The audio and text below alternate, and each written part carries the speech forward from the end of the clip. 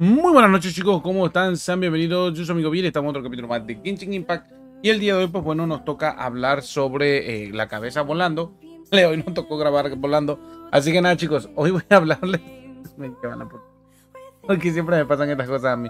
Pero no pasa nada, hoy vamos a hablar un poquito sobre eh, algunos spoilers que nos están dando sobre lo que pueda venir en la 5.0 Bien, primero que nada chicos, hay que tomar las, las cosas por como vienen eh, primero que nada, recuerden que esto, eh, pues bueno, simplemente es una fuente de algo que va a venir y que, pues bueno, tenemos que tomarlo con pinzas sobre todo. Bien, nos han comentado, eh, la fuente es Gura Antele Vigouba, ¿vale? Nos ha comentado que Natlan va a ser un mapa equivalente a la 5.0, equivalente a la versión de Sumeru 3.1. Y nosotros nos vamos al mapa de Sumeru, es este de aquí, de Sumeru, de Genshin Impact, ¿Vale? Podemos darnos una idea de qué tan grande va a ser el mapa. Bien. Primero que nada, recuerden que los mapas grandes, y ya lo hemos visto, por ejemplo, en el caso de Dragon Dogma, que yo sí lo jugué, y que obviamente se los traje al canal. También lo estamos viendo en Star, eh, ¿cómo se llama? Este, ah, en este otro juego que se llama, uy, se me fue, Stellar Blade, ¿vale? También lo hemos visto y la mayoría de los mapas de mundo abierto vemos esta situación. Bien, un poquito muy grande el mapa, pues más o menos estaríamos hablando de que si hablamos de la 3.1, estaríamos hablando de que básicamente empieza desde la cima, todo esto que está aquí, que se llama Selkolopi, hasta Valle de Adradi, hasta básicamente lo que es Bajo Sutek, Desierto Hipotesli, Hipostilo, hasta Alto Suje. ¿Vale? Bien, ¿qué quiere decir esto? Que el mapa es extremadamente grande. Recuerden que esta zona, nada más esta zona de aquí, nos llevó aproximadamente una semana completa completarla. Ya no agreguemos la parte de la sala de la coronación, ya no agreguemos la parte del monte de Banap, ¿vale? Ni la parte esta de acá, porque bueno, en fin, es muchísimo.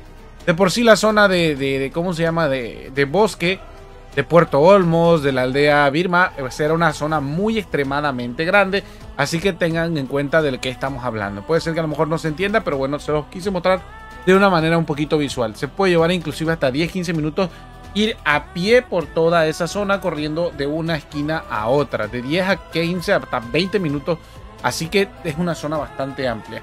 ¿Cómo vamos a recorrer esa zona? Bueno, también nos comentan que va a venir eh, una nueva mecánica en la cual va a haber un Quick Exploration, ¿vale? Una exploración rápida. ¿Cómo va a ser esa exploración rápida? Una mecánica especial que van a meter. ¿Cuál es? No sabemos. Se dice que va a haber monturas. Vamos a ver cómo nos plantean. Les comentaba el otro día platicando a la gente que para mí mi idea de las monturas puede ser que sí, efectivamente, nosotros creemos que es una montura, nos montamos un caballito y vamos andando. No, recuerden que en el mundo de Teyvat hay diferentes animales y entre ellos pues están los dragones, que ya sabemos que han evolucionado a lo largo del, del, avance del juego. Y nos también en, Fontaine nos mencionaron que han evolucionado distinto a los dragones que ya conocemos. Así que probablemente todas las monturas probablemente sean de tipo dragón o de una eh, especie de la región donde, pues bueno, ellos usan. Puede que en la misión de Sino nos expliquen algo de eso, no lo sabemos todavía. Así que estén pendientes también el día de mañana que va a salir la misión de Sino. Además, también tomen en cuenta que esta nueva mecánica va a tener alguna relación con eh, Hidro y Crío. ¿Qué quiere decir esto? Que van a volver a estar dentro del meta los personajes de Hidro y Crío. Recuerden que actualmente, y esto también lo dije en algún directo o en algún video, que los personajes de Crío pues estaban yendo a menor. Es decir, se estaban olvidando un poquito de Ayaka, etc. Y esto es debido al meta, porque bueno, pues se quedaban un poquito atrás en cuanto a daño, a pesar de que tienen un altísimo crítico, ¿vale? Siendo que New pues es uno de los que más alto puede llegar y es de agua. Bien, además en la 5.0 van a meter nuevos artefactos, con lo cual ya sabemos que esos artefactos van a terminar siendo artefactos que en la región, pues bueno, son los que mayormente usan todos los personajes de esa región. Ya pasó con Fontaine, con eh, la campana, básicamente el set de campana, el set del cazador también ya pasó, también pasó con eh, el set del bosque en Sumeru, con el set de, ¿cómo se llama el otro? Ay, Dios, se me fue el nombre. El otro que da maestría y ataque por la cantidad de personajes que tengas, que también que viene junto al del, bosque.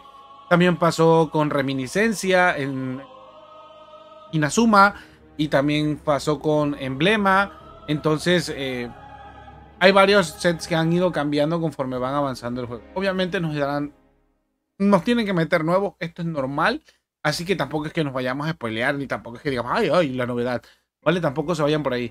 También nos dice que, eh, que van a meter también al buscador. Recuerden que el cambiador de objetos, esto yo ya lo he dicho y lo voy a decir todas las veces que sea necesario. Esto es a gusto personal, ¿vale? A mí no me funciona, pero a quien le funcione usar el transmutador para cambiar piezas que no les gusten por eh, otra pieza que no es uno a uno, es 3 a 1, ¿vale? Cambiar, eh, por ejemplo, no sé, quiero cambiar el día de mañana eh, una pieza del set de Pavilion al azar por un, tres piezas de, del set de Gladiador que me salen cada vez que hago los tres jefes, ¿vale? Bueno, pues entonces puedo cambiarla. Y obviamente se van a agregar los siguientes que serían Deadwood, que básicamente es el otro set que está, porque no, no dije el nombre, ¿vale? Que sale con el de Recuerdos del Bosque. Gilded, ¿vale? Que es justo al lado de eso, el Pavilion y el Paradise Lost, que básicamente son los de los sets de hay de Scaramucci y el otro que es el que usa Cookie para hacer daño en, Electro, con Dendro, ¿vale? Eh, Narcisen y Burukasha, ¿vale? Que son básicamente, si no mal recuerdo, son los dos de. Eh, los dos últimos de, su, de Sumeru que salieron.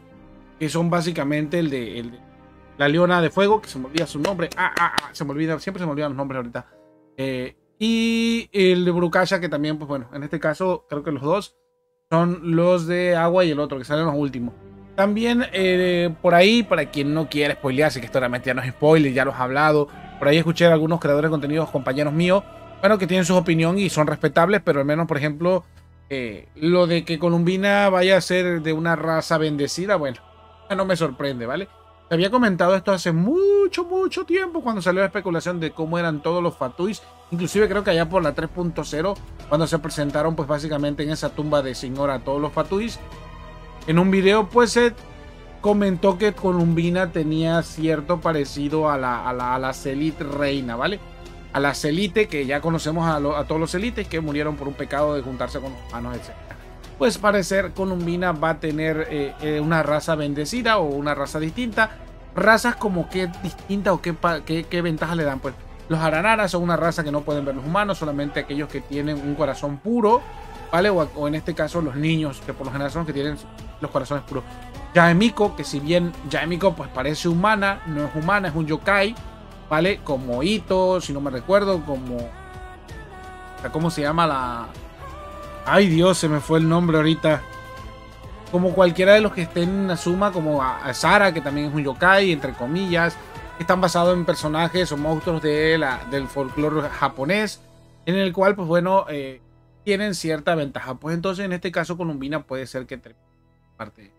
También hay que recordar que eh, comentan aquí que el Arconte probablemente sea muy conservativo, es decir, que no va a ser un personaje que, ay, voy a llegar y, ay, ay, hay como Furina, todo loco, no. No va a ser algo más o menos a los Songli, más tranquilo, más pensativo, eh, metido en sus rollos, etcétera. Sobre todo porque vamos a la nación de la, de la guerra, y precisamente la llama el juego, la nación de la guerra, y pues ya sabemos que vamos a, va a haber mucho. Ha estado mucho tiempo en guerra, por eso no sabemos nada de, prácticamente la nación. Han estado peleando durante mucho tiempo por el poder. No sabemos quiénes han estado peleando, quién contra quién, por qué razón. Y vamos a descubrir todo eso. Se dice también en algún momento, que aquí no lo dice, que hubieron o que hay cuatro tipos de razas dentro de eh, la región de Natland. Y razas no me refiero a que sean diferentes animales o especies, sino que son humanos con diferentes creencias o culturas, ¿vale? Que han evolucionado de una u otra manera distinta y pues bueno, han querido dominar. Supongo que será algo como eh, la América, la América precolombina, eh, prehispánica, donde pues básicamente habían diferentes este, culturas que pues bueno, tenían cierto poder entre ellas y combatían y se respetaban y iban ganando territorio, peleaban y tenían ciertas creencias, como lo puede hacer en Latinoamérica, como lo puede hacer también en México, como lo puede hacer en Estados Unidos. No sabemos realmente cuáles van a ser como referencias. Si es la única que sabemos que tenemos un poquito de referencia de ella, porque si nos han comentado de un personaje que tiene el nombre más o menos similar, es uno de la, eh, perdón, de la raza, iba a decir, de la cultura maya, ¿vale? Que es un azteca de tipo jaguar, algo así, no me recuerdo. Bien, y por último, no voy a, tardarme más. La mecánica de la montura, bueno, ya lo había dicho aquí, ¿vale? Eh, Balanque también se rumorea que va a ser de color, va a ser un short male, que este básicamente va a ser el, el que yo comentaba hace un momento. Va a ser probablemente el acompañante del arconte, porque el arconte sabemos que es mujer. ¿Vale? Y va a ser de un color tan, es decir, un color eh, moradito. un color eh, cafecito, morenito, ¿vale? Que va a tener o que puede tener tres diferentes tipos de colores. Es decir, que el personaje o puede cambiar cuando usa un poder, cambia de pelo, es decir, así tipo Goku, cambia de color, o puede que inclusive el personaje, pues venga, puede ser morenito con pelo blanco, eso está bien.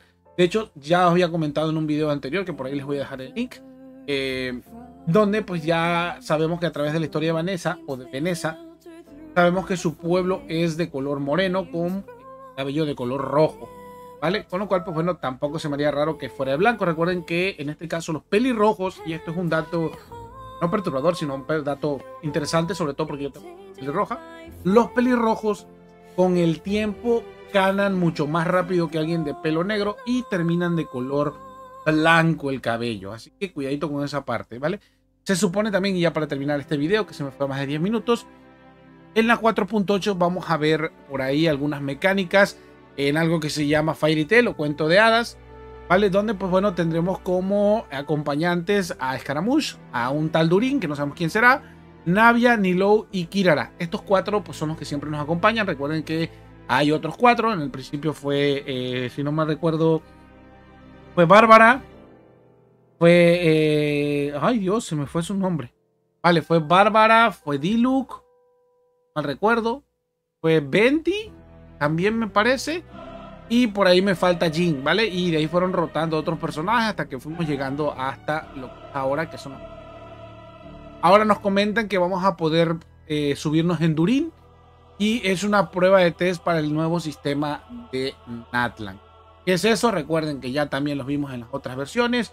Cuando nos metieron Inazuma, nos metieron a, eh, en este caso, eh, ¿vale? Y nos metieron, pues básicamente sus, ¿cómo se llama? Sus elementos para poder evolucionar a Kazuha. Y nos metieron un nuevo boss, ¿vale? Que fue el espadachín, que se reparte en tres, que de hecho está ahorita en el abismo. Y en la de Sumeru, si no mal recuerdo, nos metieron un poquito de fantasía, eh, algo de la historia de, de Fizzle, eh, nos regalaron una skin de Fizzle. Eh, básicamente nos fueron hablando de cositas que eh, la persona, en este caso, la, la, arconte dentro, podría hablarnos en la cabeza, ¿vale? O en la mente. Y pues bueno, nos habló en la mente que pues, quería conocernos. Y obviamente fue algo que pasó en la historia posterior a esa versión. Y otras cosas que también vimos como pues historias mágicas para la historia de los aranaras, entre otras. Y por último, después el de pasar de, de a Fontaine, conocimos eh, un... Llamemos una lámpara mágica, un mundo encerrado en una lámpara mágica, donde conocimos a las gotitas que de hoy, pues bueno, monstruos del juego, pero nada más de. También, si no me recuerdo, nos dieron la brújula exploradora, que también no funciona igual que la del evento, pero pues también era similar. Y actualmente ya funciona más o menos con la bruja del evento, a medias. Así que nada, chicos, espero que esta información os haya servido, os estéis pasando bien el juego. Y pues nada, yo soy bien, me despido y nos vemos en la próxima. No sin antes decirles, salven a su princesa, échele muchas ganas y nos vemos en el próximo video de Genshin Impact. Bien,